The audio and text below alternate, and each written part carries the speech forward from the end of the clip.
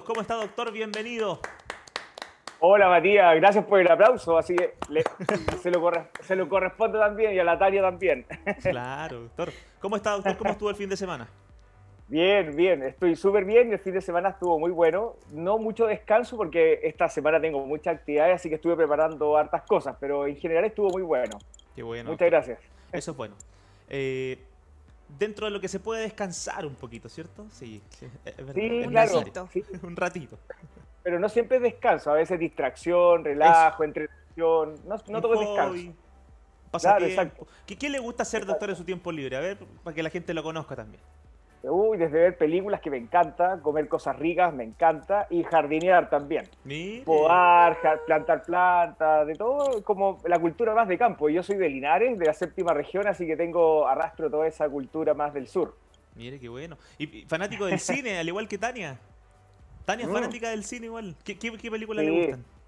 Uy, de todo. Mucho la ciencia ficción. Me, me, encanta la ciencia ficción. Es como vivir un mundo, como escaparme del mundo actual a través de la ciencia ficción y también me gustan mucho los reportajes, las comedias me gustan mucho y las series me encantan, hay muchas muy buenas. muy bien. ¿Película favorita?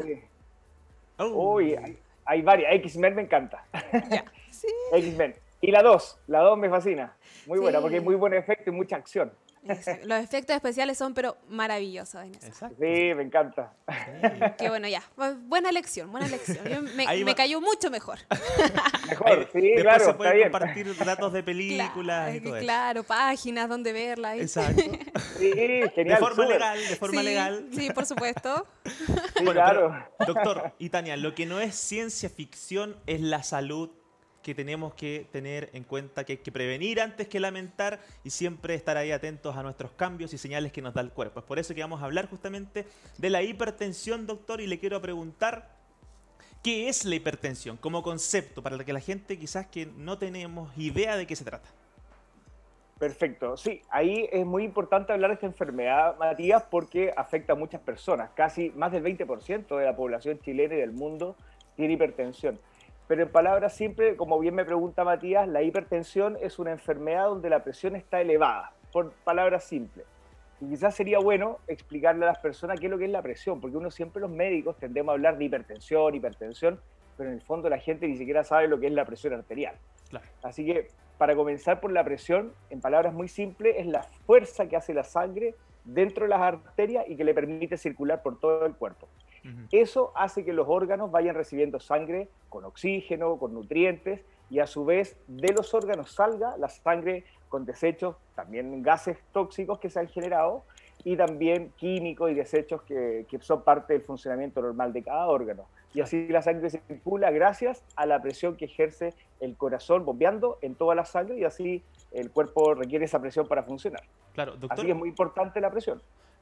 La presión arterial, entonces, como usted lo, está enseñando, me da a entender que es uno de los sistemas del cuerpo humano más importantes, porque, o sea, lleva la sangre a cada órgano de nuestro cuerpo, que sin, que, que sin este proceso, hecho de forma correcta, comienzan a aparecer algunas enfermedades, ¿o no? Exacto, y ahí, Matías, es cuando uno habla del sistema cardiovascular. El sistema mm. cardiovascular incluye el corazón y las arterias y las venas, o sea, el corazón y los vasos sanguíneos. Eso vendría siendo un sistema vital para el cuerpo porque por más que funcionen todos los órganos, si el corazón se detiene o si perdemos la sangre en una cantidad suficiente, deja de circular y los órganos dejan de recibir esa sangre con nutrientes, con oxígeno, y por tanto se mueren todos los órganos. Exacto. Mira, así que es súper importante. Sí, totalmente importante. Pasemos a la siguiente lámina porque nos va a contar el doctor que hay dos diferencias dentro de la presión arterial, mi querida Tania. ¿Las puedes nombrar cuáles son? Así es, porque está la presión arterial sistólica y diastólica. Y es aquí donde nacen las dudas, doctor, porque ni siquiera yo he podido diferenciar. ¿Cuál ¿En es, serio? Sí, ¿cuál es la diferencia? Por favor. Bueno, Talia, lo peor es que yo tampoco, no, es broma. no, es broma, es broma.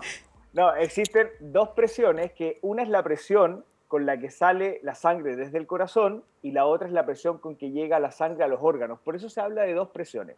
Pero en palabras simples, para que los pacientes y las personas que están escuchando nos entiendan, la presión se divide en estos dos números. yo siempre a los pacientes les explico, por eso puse una imagen de una casa, les explico que es como una casa de dos pisos. Ambos pisos tienen un techo máximo, o sea, un valor máximo normal. La presión de arriba y la presión de abajo. Por lo tanto, eh, la presión de arriba tiene un techo máximo y la presión de abajo también tiene un techo máximo. Si nosotros superamos el techo de arriba, el techo de abajo o los dos, o sea, en el fondo cualquier número de estos dos, estamos hablando de una hipertensión arterial o sea, o un aumento de presión arterial. Sin embargo, para hablar de hipertensión tenemos que hablar de un aumento sostenido o muchas veces de esta presión arterial. Pero recapitulando un poco, la presión de arriba se le llama sistólica y la presión de abajo diastólica. O más bien dicho, el número grande de arriba, por ejemplo, eh, por nombrar una presión 140 con 80, 140 es la presión sistólica de arriba y 80 es la presión diastólica de abajo. Entonces los pacientes en general, y esto también Tania y Fabián, existe mucha eh, duda porque los pacientes dicen de repente tengo 12.8, 120.80, 13.9. Lo que pasa es que en general, antiguamente los médicos y todavía también, le sacamos, bueno, yo no, pero en general se le saca el último número a la, al 130, por ejemplo, y se deja 130, se le saca el 0 y queda en 13. Pero es bueno que nos vayamos acostumbrando, no es un requisito ni obligación, pero es bueno que nos vayamos acostumbrando a decir el número real. 130 con 40, con 80, 100, mm. no sé, 200 con 100. Le podemos sacar el número, pero en general es decir, podemos hablarlo mejor porque así nos entendemos todo en un mismo idioma. Pero son dos presiones, son dos números distintos y cada una tiene un máximo. Esa es la famosa presión sistólica y la diastólica. ¿Comprendido? Sí. ¿Se entendió mucho mejor, cierto? Sí, sí, sí mucho mejor. Entonces vamos a ver cuál sería el valor normal de lo que debería ser dentro de la presión arterial. Avancemos a la siguiente porque ahí está justamente el, valor normal que nos va a explicar el doctor. Sí, y tiene una presión normal porque como conversábamos, la presión arterial tiene que tener cierto rango. Imagínense que estamos regando el patio y tiene que, a mí que me gusta la jardinería, estamos regando el patio y si tiene mucha presión, las, las mangueras, las, llaves se van rompiendo. En este caso, el cuerpo se van rompiendo las arterias o los capilares, los vasos sanguíneos más pequeños se van rompiendo por exceso de presión. Lo mismo pasa cuando el cuerpo se daña, cuando la presión está muy baja. Es como que estoy regando con poca presión de agua, lo que significa que poca sangre le llega a los tejidos y se van dañando lenta y silenciosamente. Así es como aparece la insuficiencia cardíaca, una de las causas de insuficiencia cardíaca, así aparece el deterioro cognitivo, no Alzheimer, pero en el fondo es deterioro cognitivo también, o, demencia en el fondo, que una explicación una de las tantas causas que puede haber es que baja la presión sanguínea en forma prolongada, por obstrucción de las arterias, por ejemplo. Bueno, hay varias causas, pero en el fondo es baja llegada de sangre al cerebro. Entonces, la presión tiene que mantenerse en cierto rango. Y es así como se ha definido que el máximo, máximo normal de estos dos pisos, el piso de arriba, el máximo, como dice la diapositiva, es 120 y el máximo de abajo es 80. O sea, la presión sistólica máxima es 120 y la presión diastólica máxima es 80. Recordar que esta presión arterial es una presión eh, tomada en reposo, no haber comido previamente y ojalá estar lo más tranquilo posible, porque cuando uno está nervioso también la presión sube. O sea, en el fondo son condiciones de reposo que uno eh, tiene que tener para tomarse, tener este parámetro como presión normal. Y por último, no hay que olvidarse que esta es la presión normal para una persona adulta, yo diría que hasta como los 70 años, porque más allá de los 70 uno va permitiendo presión un poquito más alta porque el cuerpo está más un poquito más afectado, tiene un poco de daño acumulado, entonces el cuerpo necesita un poco de presión mayor que la de 120-80. Pero en todo caso, hay caso y caso y los médicos tenemos que definir cuál es la presión meta para cada persona. Pero en general, 120-80 es la presión normal. ¿En qué momento, señor, eh, señor, doctor, en qué momento, doctor, deberíamos, eh, señor, ¿de dónde saqué señor? ¿En qué momento, doctor, deberíamos eh, tomar ahí una alerta. Bueno, en todo caso, dígame, dígame, dígame. No, dele, no, ¿qué iba a decir? Lo que pasa es que en la consulta me han dicho, me han dicho padre, me han dicho pastor, me han dicho dicho alcalde, porque tengo algunos pacientes que son eh, concejales y son políticos, y me han dicho alcalde, me han dicho de todo, así que, pero es por nombres que se le sale a la gente, así que no hay problema. Listo, señor, entonces. de hecho, a mí me pasó que hace un rato le iba a decir profesor. Profesor, y por eso fue como, claro, también. sí, bueno, díganme como quieras, igual entiendo, no hay problema. A termina con or, uno se, uno se, confunde. Igual se parece. Claro. Doctor, eh, preguntarle, ¿dónde entonces uno debería tomar ahí una, señal de alerta? ¿Cuánto debería estar superando esos 120 y cuánto menor de 80 para poder decir, oye, quizás algo pasa? En este caso, los 120, para cuando uno pasa cualquiera de esas presiones, es bueno recordar que hay que tomar una alerta de preguntarse quizás por qué tengo la presión alta. Pude haber estado haciendo deporte, pude haber estado, por ejemplo, eh, con alguna comida con mucha sal, etc. O sea, si yo paso los 120 o paso los 80, hay que preocuparse. Y al revés, si los, por ejemplo, los 120 bajan de 100, habría que preocuparse, o quizás 90 ya sería una presión preocupante bajo 90 y de los 80 cuando esa presión diastólica, la presión de abajo, baja de los 70 o de los 60. En el fondo siempre hay rangos porque no es una presión exacta para el ser humano. Depende, una, si somos alto o más bajo, si somos hombre, somos mujer, si somos más gordito, más delgado, si somos tranquilos más activos. Todas esas variables influyen en que tengamos una presión más alta o más baja. Por ejemplo, yo tengo pacientes que son jóvenes, delgadas, eh, baja y, tranquila, tiene presiones de 90 con 60 y uno les pregunta, ¿cómo está?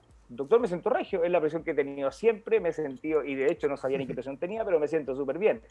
Al contrario, pasándonos al otro lado, cuando fui médico contralor de Turbus, por ejemplo, y tenía paciente y controlaba, tenía pacientes conductores que tenían presiones de repente de, de 230, 240 con 150, que son presiones elevadísimas.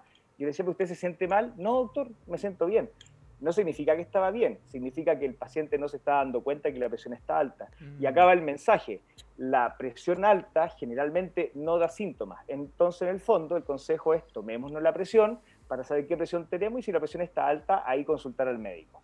Pero no da síntomas. Ya lo vamos a ver después, pero, pero es bueno saberlo porque en este momento es súper importante aclararlo. La hipertensión, la presión elevada, muchas veces no da síntomas. Y las pocas veces que sí da síntomas, da síntomas, por ejemplo, con zumbido de oído, dolor de mm. cabeza, da mareos, acelera el corazón y a veces a algunas personas les duele la cabeza más arriba o le vienen náuseas. Ahí los síntomas son un poco más variados, pero no toda la gente tiene síntomas.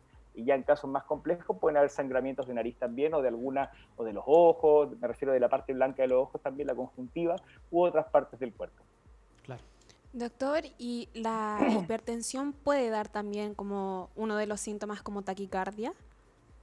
Claro, porque en el fondo la hipertensión arterial significa que el corazón está con una presión muy fuerte. Y puede ser que dentro de todo lo acelerado que está el corazón, está ocurriendo que está latiendo más rápido. Mm. Porque acordémonos y recordémosle a los amigos, Tania, que la taquicardia es un aumento del pulso, o sea, es el corazón que late muy rápido. Una cosa es la presión alta y la otra cosa es el corazón rápido. Son cosas distintas. Sin embargo, muchas veces el corazón no solamente se acelera hacia subir la presión, sino también se acelera en el ritmo. O sea, puede venir a veces taquicardia y presión alta.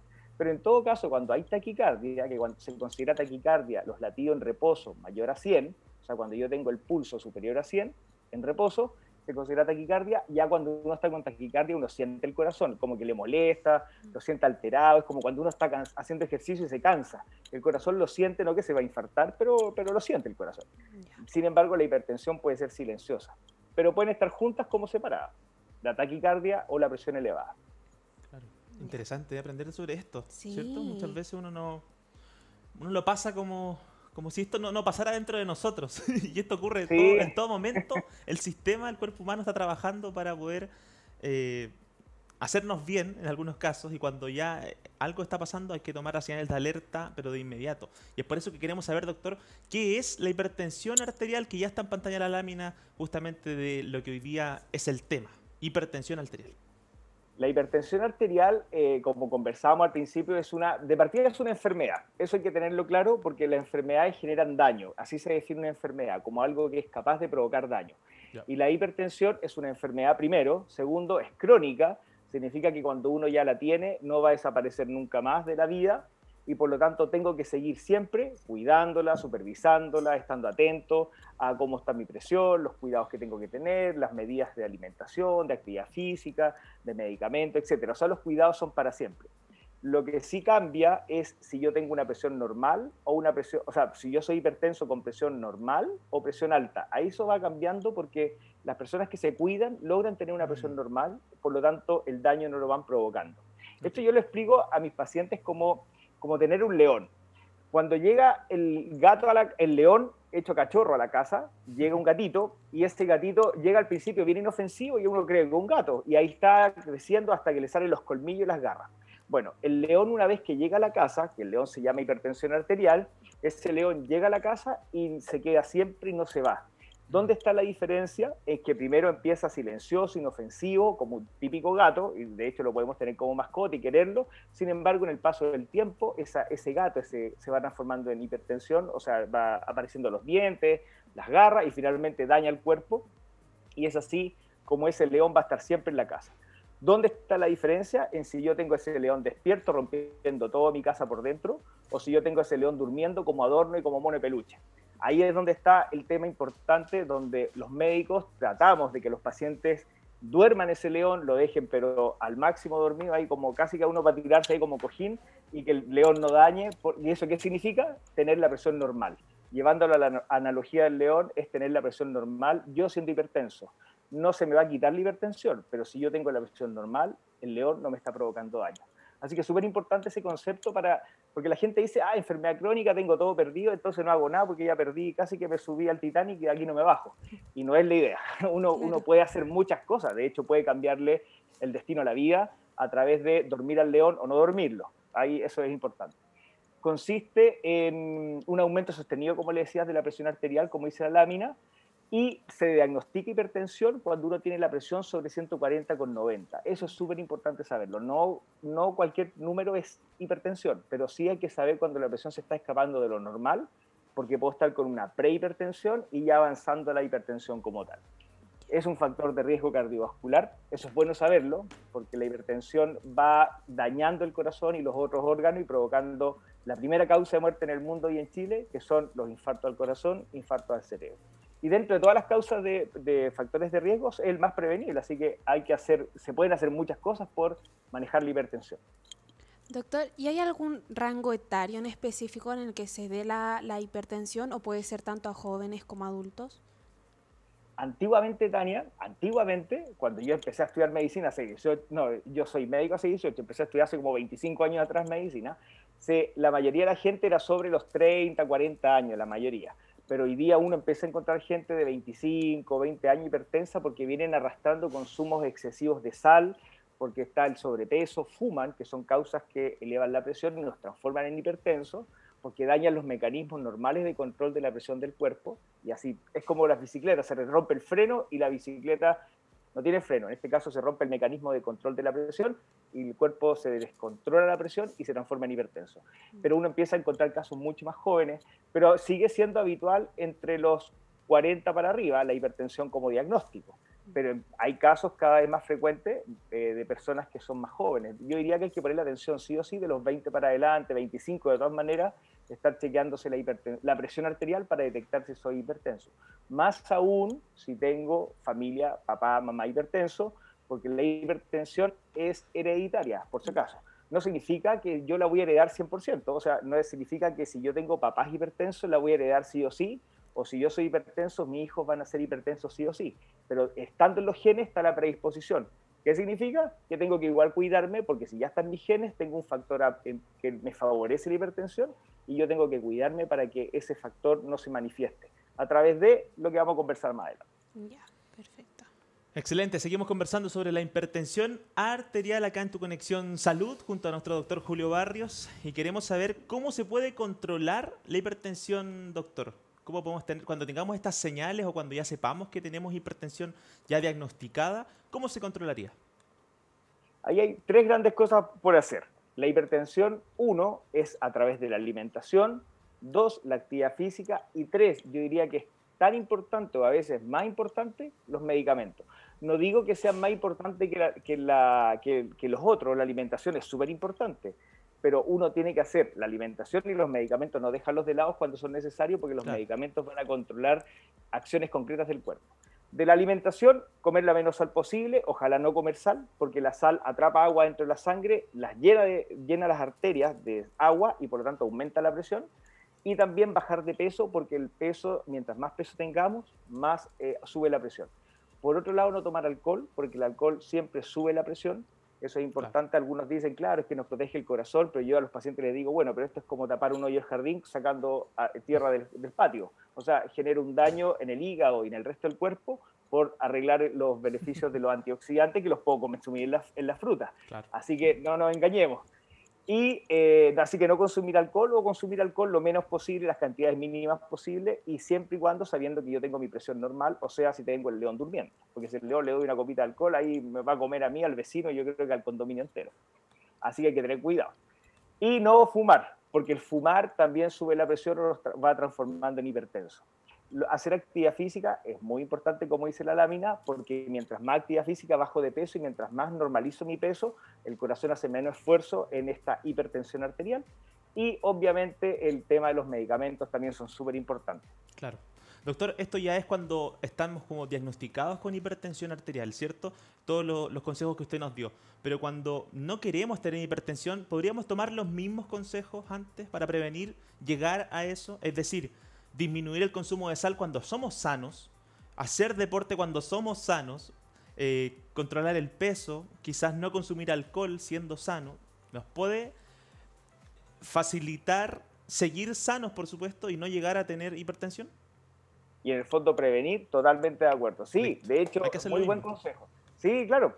Si uno sigue, así que pueden sacarle foto a la lámina, y pueden, claro, lógico, porque la pueden tener ahí y guardar en el celular, pero no consumir sal o lo menos posible. Y bueno, ¿para qué repetir las indicaciones? Pero la conclusión es esa. Si las hago desde el, desde el inicio o desde incluso si lo hago desde niño, es ideal, porque de hecho a los niños ojalá no se les diera sal, porque así no van desgastando el cuerpo, no van desgastando los riñones, desgastando los mecanismos de control de presión. Ahora, tampoco es ponerse tan exagerado y decirle, no, no coman nada de sal, casi que es veneno. No, si tampoco hay, hay que demonizar la comida. Sin embargo, si podemos evitar, uno, los excesos y acostumbrarnos a lo menos posible, es una muy buena conducta para el resto de la vida. Claro que sí. Tenemos nuestro WhatsApp, Tania, en pantalla para que la gente nos haga las preguntas. Es el más 569-6253-2873. Si usted tiene una pregunta, nos puede escribir ahí, se la respondemos de inmediato. Nos llegó una, doctor. Vamos a ver el nombre eh, de Pau. Pau nos dice, hola doctor, yo soy hipertensa, pero últimamente mi presión, la voy a leer tal cual, no sé los conceptos, la CIS dice 130 y la DIA 63. ¿Qué puede estar pasando? ¿Cuál es la solución? Hola Pau, la CIS es la sistólica o de arriba y la DIA es la diastólica de abajo. Entonces, recién la llamo aprendido. claro. No aprendí nada, no, reprobado. No, pero está bien. Le sacamos la carita feliz ganada la, semana pasada. ¿Verdad? Es que la amiga aquí lo usó en diminutivo. La cis y la ya sabemos que no, no la culpes a ella. El error fue tuyo. Claro, no, no, pero eso, son, eso es casi examen de grado. ¿eh? Está bien.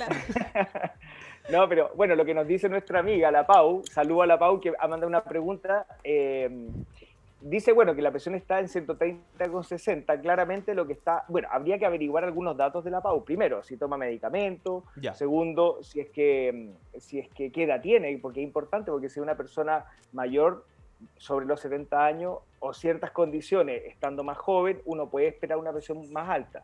Sin embargo, pensemos que Pau es una mujer de 40 años, que es normal en el peso, quizás tiene un rollito de pandemia, pero nada más que eso. Por lo tanto, la presión uno le esperaría que tuviera ojalá esos 130 en 120 en reposo o quizá un poco menos, pero 120 estaría bien. Así que en un supuesto de la PAU, que le aprovecho de decir, si quiere mándeme un Instagram, ahí abajo está el Instagram, para que me pueda mandar un mensaje, una pregunta, ningún problema. De hecho, me han llegado hartas preguntas desde el capítulo anterior, así que lo invito a que las haga. Sí, sí, se han conectado harta gente y me han enviado saludos y, felicitación y cariño al programa también, así que se los transmito también. Ahí está, y respondiendo a la Pau, sí, dígame, dígame. No, no, pensé que había terminado. Dele nomás, doctor. No, y respondiendo a la Pau, entonces la presión está un poquito alta, lo que habría que quizás es bajar el consumo de sal, quizás bajar de peso, si es que está un poquito eh, bajo de peso, en cuanto a la sal, ojalá lo menos posible, y quizás revisar los medicamentos, pensar en las dosis o si quizás lo está tomando mal, habría que revisar el caso propiamente tal, pero hay que revisarlo porque tampoco es una presión para morirse 130, pero el cuerpo se está dañando lentamente, eso es importante saberlo. Una de las causas que ya vamos, a conversar más adelante en otro de los capítulos de salud cardiovascular que vamos a hacer en nuestra serie de, de talleres del matinal, vamos a hablar de insuficiencia cardíaca, pero le aprovecho de decir que la hipertensión, cuando este león está despierto, aunque esté medio despierto, la presión un poco alta va dañando silenciosamente el corazón y así va provocando la insuficiencia cardíaca, que es muy silenciosa, que de hecho empieza desde etapas desde que el corazón ya está con presión alta porque está muy esforzado. Claro. Así que yo le diría a la Pau, si quiere mande un Instagram, pero habría que normalizar la presión. Claro, saludamos a la Pau, le agradecemos por la pregunta y En Instagram, doctor, está como DR Julio Barrios para que usted lo busque ahí en las redes sociales. Así es, tenemos otra pregunta de Walter que dice, buen día, tengo hipertensión y tomo una pastilla Losartán de 50. Tengo 64 años. ¿Cuánto es una presión normal? Hola Walter, eh, la presión normal tiene 64 años.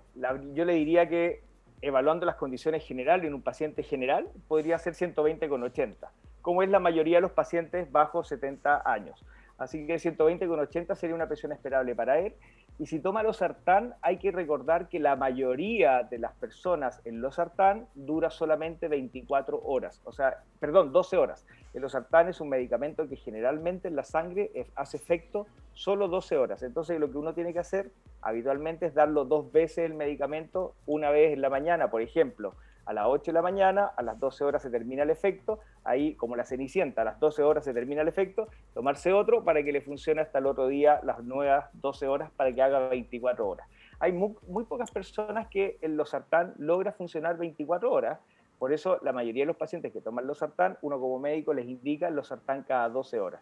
No le digo que haga cambios, lo que sí digo que consulte con su médico para ver, uno, si está bien protegido las 24 horas con ese losartán y dos, si es que está logrando la presión normal con ese losartán, porque quizá habría que ajustar un poco el tratamiento.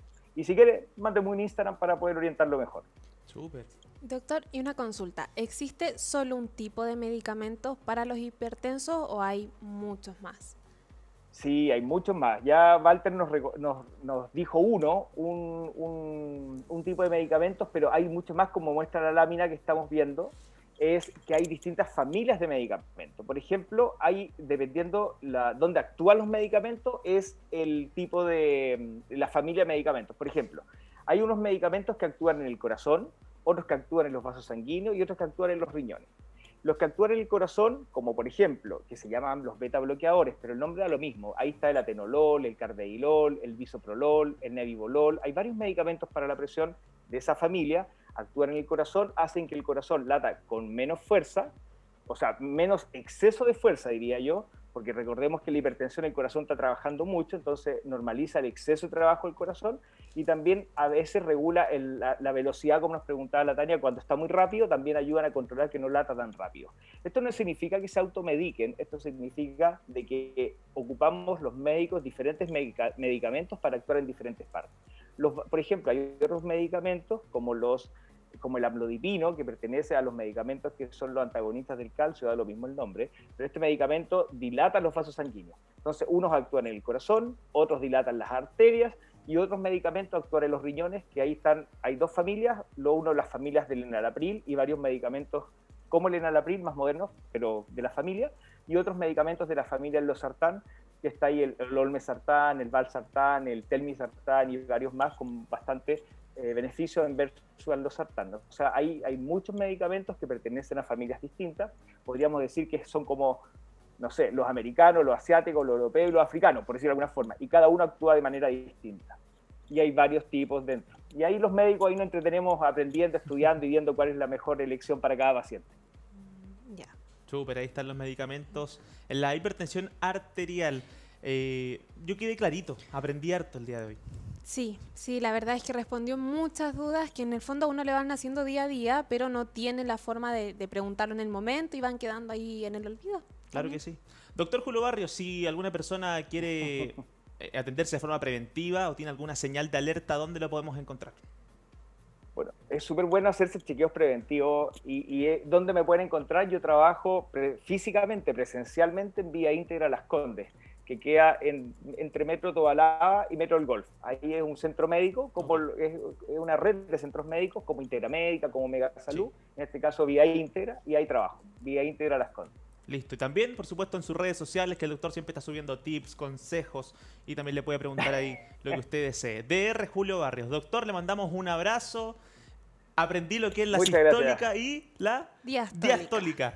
Estrellita para nosotros. Estrellita, doctor. Estrellita sí, claro, sí. Vamos acumulando, las tengo anotadas por si acaso. Gracias, doctor, que esté muy bien. Gracias a ustedes, que tengan buena semana. Un abrazo, doctor, que esté bien. Gracias igual. Nos vemos, chao.